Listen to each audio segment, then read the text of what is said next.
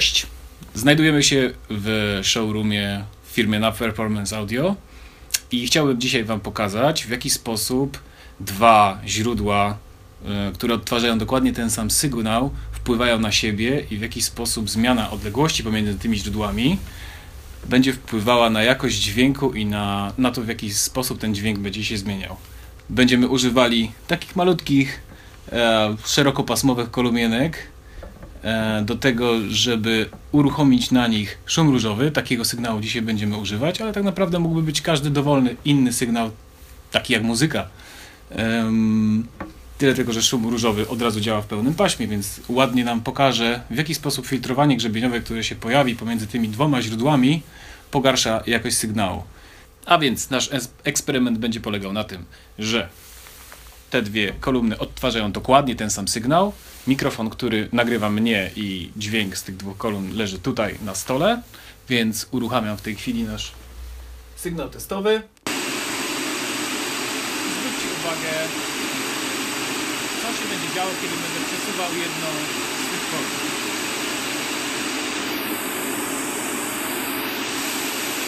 To równo, to jest ten sam sygnał, sygnał jest idealny. Teraz zwiększam różnicę w odległości. Pojawia się coraz więcej filtrowania, coraz mniejszych częstotliwości. Wracam.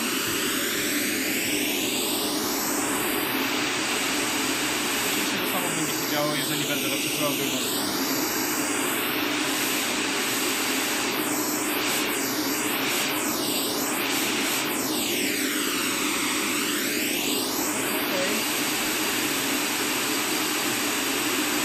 A teraz dokładnie to samo pokażemy Wam w domenie elektrycznej na naszym e, oprogramowaniu pomiarowym, e, gdzie będziemy wprowadzać takie samo opóźnienie, tylko do dwóch sygnałów elektrycznych. Zobaczmy to. A teraz mniej więcej pokażemy, w jaki sposób w domenie elektrycznej em, będzie zobrazowane dodawanie się dwóch sygnałów identycznych. Używamy szumu różowego, włączamy pierwszy kanał. Pojawia się nam sygnał, który jest idealnie płaski. Na poziomie minus 6 dB dodajemy drugi sygnał. Poziom wzrasta do 0 dB, czyli dodało się dokładnie 6 dB. Mamy tutaj delikatne wygięcie fazy, które jest spowodowane niedokładnością rozdzielczości z programu pomiarowego, ale tym się nie przejmujemy. Teraz wprowadzamy pierwsze opóźnienie do pierwszego sygnału, na początek 5 mm, teraz 10 mm. Widać dokładnie jak pojawia się pierwsze kasowanie gdzieś w okolicach 17 kHz, 20 mm, duże kasowanie w okolicach 8 kg, 30 mm, tu już mamy dwa zęby grzebienia. Bardzo wyraźne dwa zęby grze- grzebienia, pełne kasowanie w okolicach 5,5 kHz i 16 kg. 1 dziesiąta milisekundy. Nasz procesor, y, którego używamy do wprowadzania opóźnienia, to jest referencyjny NS, NSP248E. Ok, cały czas 1,1 milisekundy.